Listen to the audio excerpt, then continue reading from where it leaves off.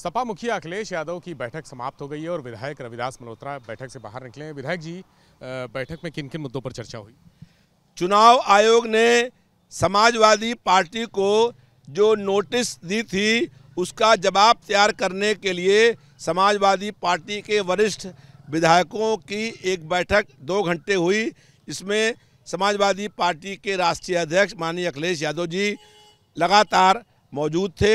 हम लोग ये प्रमाण देने का काम करेंगे कि 2022 के विधानसभा चुनाव से में बड़े पैमाने पर हम लोगों के वोटों को काटने का काम हुआ है।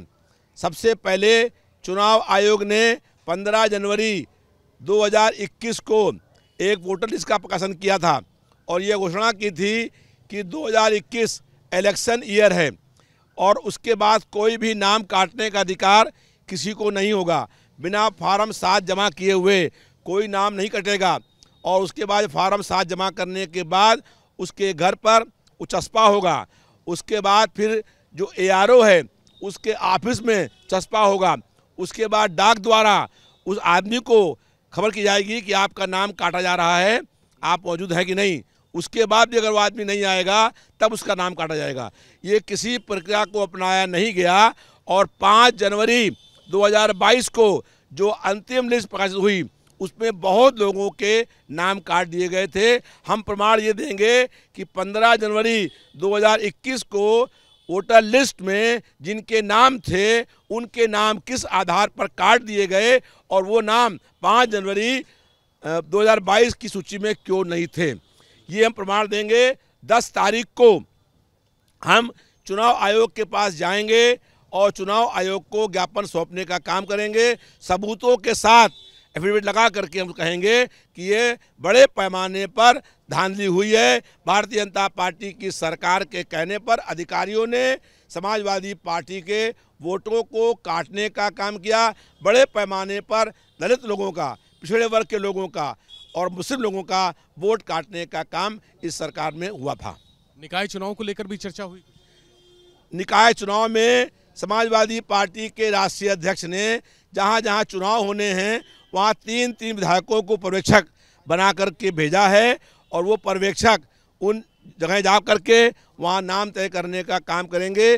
जैसे मुझे कानपुर का प्रभारी बनाया गया है, हम तीन तारीख को कानपुर जा करके वहाँ मीटिंग करके और वहाँ मेयर और पार्षद प्रत्याशियों का चयन करने का काम करेंगे। समाजवादी पार्टी का ये प्रयास है कि निकाय के चुनाव में सापा का परचम लहराए। जनता समस्याओं से परेशान है। किसी भी नगर निगम में कहीं कोई काम नहीं हो रहा है। लखनऊ नगर निगम में पिछले एक डेढ़ साल से एक ईट भी रखने का काम नहीं हुआ है।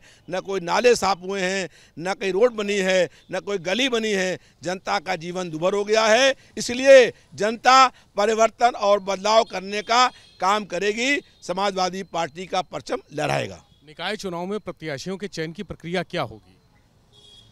निकाय चुनाव में जो पार्टी के वरिष्ठ लोग हैं, उन सबसे सलाह मशवरा करके ऐसे आदमी खड़ा करेंगे कि जो पार्टी के प्रति वफादार हो, जो संघर्षशील हो, जो चुनाव जीत सके और वो भारतीय जनता पार्टी को हरा सके। तो हम लोगों का ये प्रयास होगा कि ऐसे अच्छे संघर्षशील, नौजवान, दमदार प्रत्याशी चुनाव में लड़ें ताकि उस क्षेत्रों में विकास का अच्छे ढंग से काम हो। राष्ट्रीय अध्यक्ष का चुनाव हो गया प्रदेश अध्यक्ष भी चुन लिए गए लेकिन संगठन के जो ढांचा है वो अभी नहीं बनाए पूरी तरह से। जिला अध्यक्ष महानगर अध्यक्ष ये कब तक बन जाएँगे? राष्ट्रीय अध्यक्ष जी का चुनाव हुआ उसके बाद चुनाव हुआ प्रदेश के अध्यक्ष जी का और उसके बाद हम लोगों का ये दुर्भाग्य था कि समाजवादी पार्टी के संरक्षक हम लोगों के नेता धरती पुत्र आदरणीय मुलायम सिंह जी का देहांत हो गया जिसके कारण से पिछले एक महीने में पार्टी में कोई कार्य नहीं हो पाया। अब अखिलेश यादव जी आ गए हैं बहुत जल्दी ही कमेटियाँ बननी शुरू हो जाएँगी। जिला अध्यक्ष और महानगर अध्यक्ष के कोई मानक तय हैं? मानक ये है कि जिसने जो संघर्ष कर सके आगे जिसने संघर्ष किया है पाँच साल में और ऐसा अध्यक्ष हो जो अब ये आगे संघर्ष का वर्ष है चुनाव का वर्ष है चुनाव लोकसभा के होंगे तो जो ऐसा अध्यक्ष बनाया जाए जिसके माध्यम से 2024 में लोकसभा में हम लोग चुनाव जीतें और जो आगे संघर्ष करने का काम कर सकें। गोला गोकर्णनाथ उपचुनाव में क्या तस्वीर बन रही है? गोला गोरखनाथ चुनाव में विनय तिवारी जी हम लोगों के प्रत्याशी थे। आज जो है मतदान वो प्रचार का अंतिम दिन है। तीन तारीख को मतदान है। हमें विश्वास है कि जनता परिवर्तन सरकार पर अंकुश लगाने के लिए विनय तिवारी को वोट देने का काम करेगी और विनय तिवारी जी चुनाव जीतेंगे तो भारतीय जनता पार्टी की सरकार पर, के दमन पर, के जुल्म पर अंकुश लगने का काम होगा, जो लगातार महँगाई बढ़ रही है, बेरोजगारी बढ़ रही है, उसको, उस पर अंकुश लगने का काम होगा। इसलिए जनता से अपील है कि एक विधायक बनने से न समाजवादी पार्टी सरकार बनने वाली है, न सरकार बनी, भाजपा की बनी हुई है। लेकिन एक विधायक के जीतने से भाजपा की सरकार पर कोई असर नहीं पड़ेगा लेकिन भाजपा की सरकार पर हम लोग अंकुश लगाने में कामयाब हो जाएँगे। अखिलेश यादव वहाँ प्रचार करने के लिए नहीं गए इसको लेकर बड़े सवाल उठ रहे हैं। देखिए मैंने पहले आपसे कहा कि किसी भी व्यक्ति के लिए उसका पिता चला जाए तो उसको बहुत कष्ट होता है। और समाजवादी पार्टी को पूरा खड़ा किया माननीय मुलायम सिंह यादव जी ने। और वो इस शोक में रहे लेकिन पार्टी के अन्य नेता वहाँ पर गए। और उन्होंने प्रचार किया। माननीय राष्ट्रीय अध्यक्ष जी ने लोगों के नाम का ऐलान किया, स्टार प्रचारक थे वो लोग वहाँ पर गए और मुख्य बात जनता चुनाव लड़ रही है। जो वहाँ की क्षेत्रीय जनता है, वो चुनाव लड़ रही है और मुझे विश्वास है कि जनता जो है वो विनय तिवारी को अपना वोट देने का काम करेगी, जिससे प्रदेश सरकार पर अंकुश लगने का काम होगा। बहुत शुक्रिया। समाजवादी पार्टी के वरिष्ठ विधायक रविदास मल्होत्रा जी थे हमारे साथ और आज बैठक में महत्वपूर्ण मुद्दों पर चर्चा हुई, चाहे वो निर्वाचन आयोग को सबूतों के साथ सारे दस्तावेज़ प्रस्तुत करना हो या फिर नगर निकाय चुनाव की तैयारियाँ हो। जिला अध्यक्ष और महानगर अध्यक्ष का चयन भी कैसे होगा, किस तरह से होगा, निकाय चुनाव में प्रत्याशियों का चयन कैसे होगा, इस पर एक रूपरेखा आज तय की गई है। कैमरा सहयोगी प्रमोद के साथ विवेक त्रिपाठी, एपीपी गंगा, लखनऊ। समाजवादी पार्टी के वरिष्ठ विधायक मनोज पांडे जी हमारे साथ हैं। सर आज क्या बैठक में रहा मुद्दा? नहीं पार्टी की नियमित बैठकें होती रहती हैं और संगठन कैसे और गतिशील हो बूथ पे हमारे कार्यकर्ता कैसे और एक्टिव हों जो तमाम मुद्दे हैं आज सत्तारूढ़ दल से उन पर हम लोग कैसे अपनी बात को रखें कैसे उसको लड़ाई लड़ें इन तमाम विषयों पर चर्चा होती रहती है। आज अ, सबसे ज़्यादा चर्चा तो उस बात की है जो वोटर लिस्ट से नाम काटने का आरोप लगाया समाजवादी पार्टी ने। उसको लेकर एक दो पन्ने का फॉर्म भी ट्वीट किया है। देखिए हम लोग तो आज जो बैठे थे वो बैठे थे कि जो हम लोगों के का संगठन है आगे वो कैसे मज़बूत हो? संगठन कैसे बने कैसे किन लोगों को और उसमें ज़िम्मेदारी दी जाए?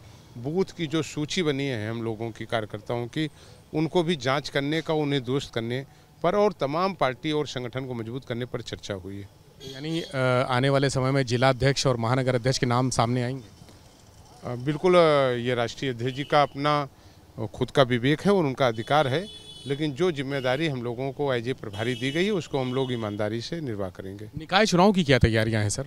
निश्चित रूप से समाजवादी पार्टी पिछले छः महीने पहले से पूरी मजबूती से निकाय चुनाव की तैयारी कर रही है और वाराणसी का मैं वहाँ का प्रभारी हूँ। हम लोग भी कई बार वहाँ विज़िट कर चुके हैं कार्यकर्ताओं में बैठ चुके हैं और कार्यकर्ताओं को घर घर तक मतदाताओं तक वो पहुँचे समाजवादी पार्टी की नीतियों रीतियों तक से उनको अवगत कराएँ इस पर हम लोग पूरी मजबूती से काम कर रहे हैं और समाजवादी पार्टी आने वाले इस स्थानीय निकाय के चुनाव को पूरी दमखम और मजबूती से लड़ेगी और एक अच्छा निर्णय और जनादेश लेकर के आएगी। प्रत्याशियों के चयन का क्राइटेरिया क्या होगा? टिकाऊ हो जनता में उसकी छवि अच्छी हो और वो मजबूती से चुनाव को लड़ सके।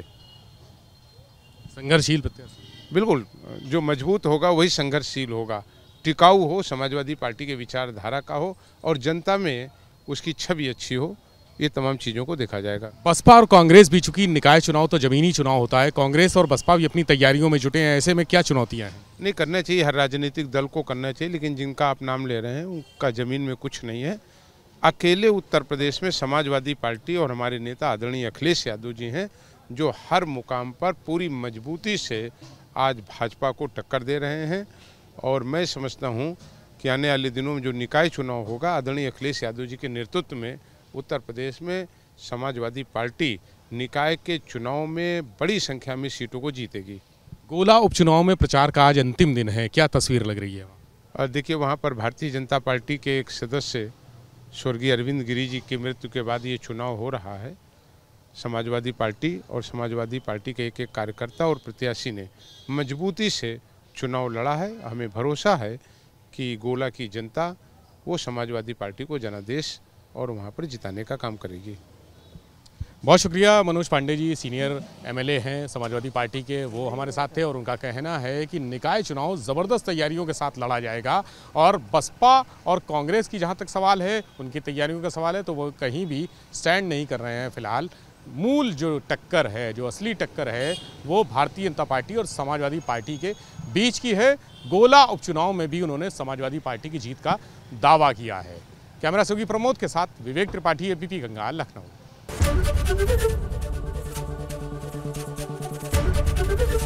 एबीपी गंगा, खबर आपकी, जुबा आपकी।